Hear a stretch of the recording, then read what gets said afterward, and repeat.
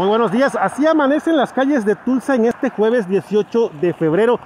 Las vías principales han sido eh, arada y recogida la nieve y se le ha aplicado la salmuera, lo que nos permite hoy mejores condiciones de manejo. Ojo, las calles secundarias de vecindarios y áreas residenciales, estas continúan con mucha nieve, al igual que muchos eh, estacionamientos o parqueaderos como este que vemos aquí de frente a nuestras las instalaciones de la radio que buenas siguen eh, con mucha nieve.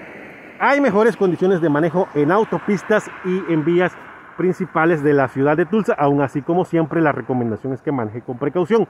Para la gente que se quedó sin agua por estos cortes, por tantas fugas de agua aquí en Tulsa, hoy van a estar dando agua en, las instalaciones de la Feria Estatal de Tulsa, en la calle 21 cerca de Yel. Lleve su propio recipiente y ahí le van a poder entregar el vital líquido.